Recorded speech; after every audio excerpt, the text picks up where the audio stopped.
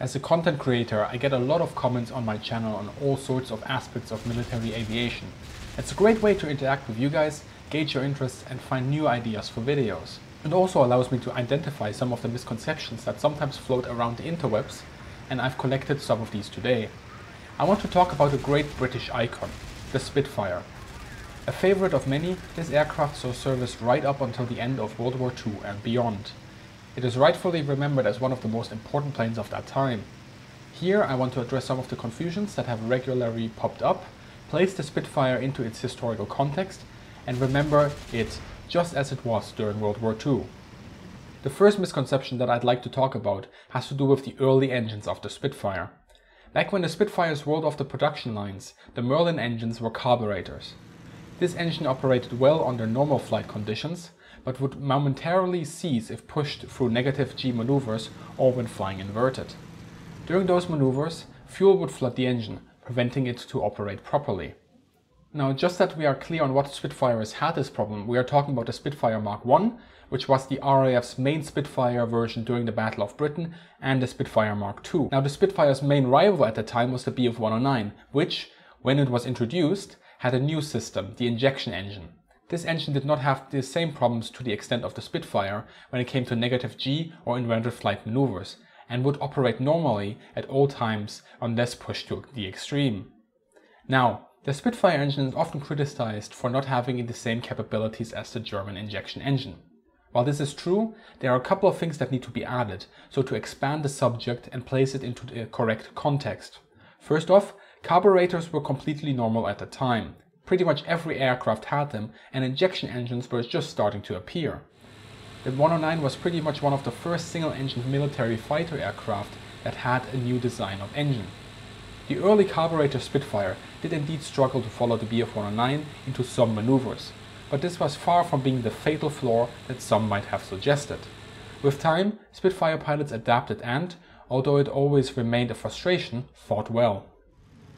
The early Spitfires and Bf 109s were equally matched, both holding distinct advantages and disadvantages over each other. Even with a carburetor, a Spitfire had a good chance against a 109. The outcome of a fight was indeed more dependent on the individual pilot and the tactical nature of the engagement. The Merlin engines used by Britain in their Spitfires continued to be carburetors for quite some time during World War II, the introduction of an orifice, also known as a restrictor, allowed for a more controlled fuel flow under normal operational use.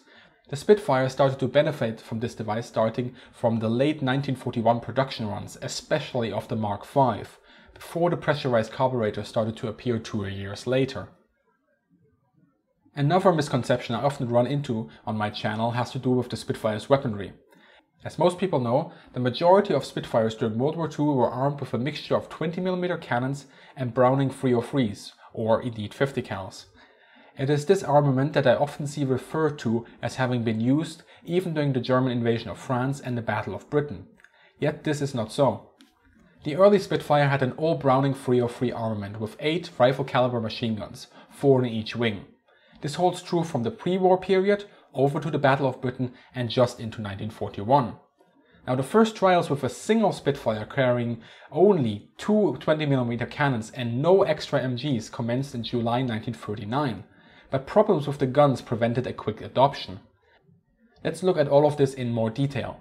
As Alfred Price notes, the early service career of the Hispano gun in the Spitfire was a sad tale of frequent stoppages and failures as the cannon tried to shake apart itself and the feed system during firing. The first use of a cannon Spitfire was against a stray German bomber in January 1940, yielding promising results but also reiterating the problem. The starboard gun had stopped firing after a single round, the port gun failed after 30. Nevertheless, just before the Battle of Britain in early July 1940, No. 19 Squadron received seven Spitfires with a two-cannon armament. Now these seven Spitfires were only a fraction of the overall roughly 300 Spitfires that Britain had during the commencement of the Battle of Britain. The problem for these seven Spitfires was that next to these two cannons, they had no additional armament. In the words of Air Chief Marshal Dowding, who wrote on the 24th of July 1940, I am not at all keen on sending it up against German fighters, since it will be extremely badly equipped for the task. I say the Cannon Spitfire is badly equipped to meet German fighters because it has only two guns, and even the Me-109 has two cannon and two MGs. Furthermore, it has fired off all its ammunition in 5 seconds. Dowding also mentions that because the Germans have yet to protect the engines of their aircraft, 8 303 Browning machine guns might still be preferable at this juncture. The squadron leader of No. 19 Squadron confirmed this standpoint by complaining to RAF High Command that the continuing problems with the cannons and the lack of additional weaponry was seriously impairing even the few missions his squadrons were tasked with.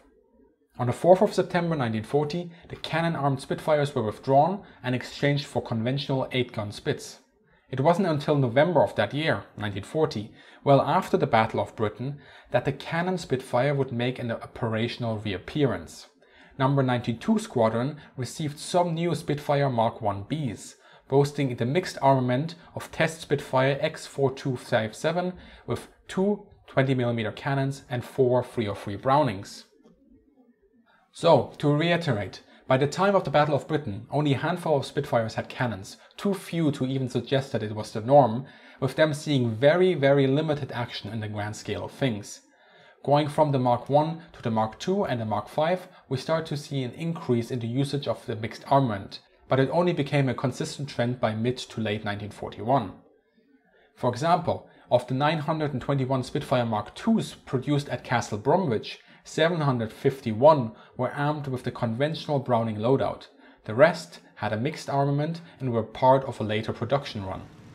Alright, so the last misconception I want to clear up has to do with the use of the Spitfire, again during the early war period.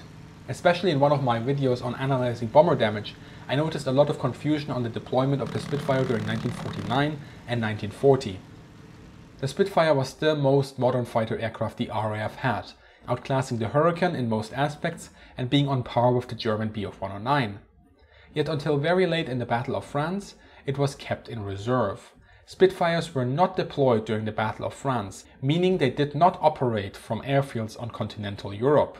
Instead, Hawker Hurricanes were sent there. The Spitfires were kept in reserve, defending the homeland and patrolling the coastline of Britain where they saw some action. By the time they were used over France, during the evacuation at Dunkirk, the RAF had around 300 operational Spitfires. Having kept them in reserve, they were spared, allowing Britain to build up its stockpile of modern fighters. While you can argue that the RAF still did not have enough Spitfires during the Battle of Britain, this early strategic decision did pay off in the long run during the engagements over the English Channel. But on the flip side, this measure also meant that the Allies had no aircraft in sufficient numbers that could effectively counter the 109s during the battle for France. All of this is important to keep in mind, both to place the proper context on the Battle of France and the later readiness state of the RAF during the initial phase of the Battle of Britain. So, to conclude, Spitfires on the whole were not engaged during the Battle of France and had only a minimal impact on tactical engagements during that phase of World War II. It too only began to substitute the Hawker Hurricane in numbers and sorties after the Battle of Britain, becoming the main RAF asset in 1941. So I hope that you enjoyed this short clarification on the Spitfire, which is such an important and fascinating aircraft during World War II. You can find all relevant sources in the description. If you would like to support my channel and videos such as this one, please check out my Patreon. A small monthly contribution can go a long way and my tiers have only just been upgraded for more exciting rewards. If you would like to learn why the Soviets didn't like the Spitfire, click right here. And if you want to know more about the Spitfire's involvement at Dunkirk and why the Luftwaffe failed to stop the evacuation, click right here. As always, have a great day, good hunting, and see you in the sky.